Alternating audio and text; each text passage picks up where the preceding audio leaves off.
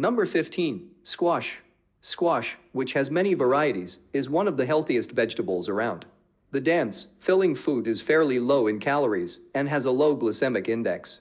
Winter varieties have a hard shell and include acorn, pumpkin, and butternut. Summer squash has a soft peel that can be eaten. The most common types are zucchini and Italian squash. Like most vegetables, squash contains beneficial antioxidants. Squash also has less sugar than sweet potatoes, making it a great alternative.